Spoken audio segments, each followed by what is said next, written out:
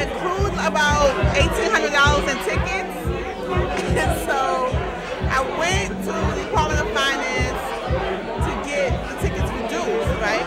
The good thing about it, I got a lot of tickets reduced, but I had four tickets in judgment. They were about $600.